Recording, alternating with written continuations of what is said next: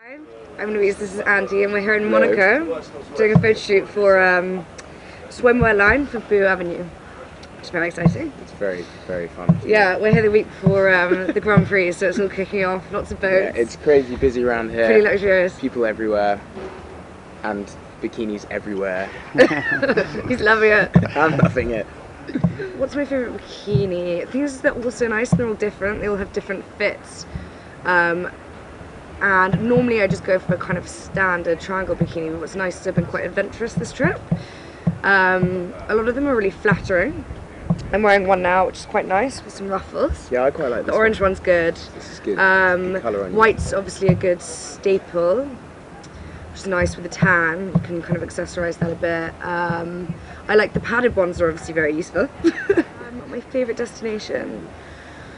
I loved South America just because it's different. Um, probably, I love Brazil's great. I have a couple of friends that live there, so that was an amazing experience.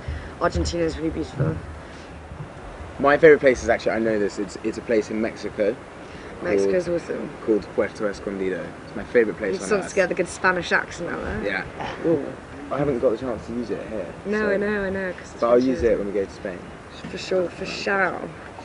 What's coming up on MIC? There's loads coming up on MIC. It's all pretty dramatic. Yeah, it's pretty dramatic.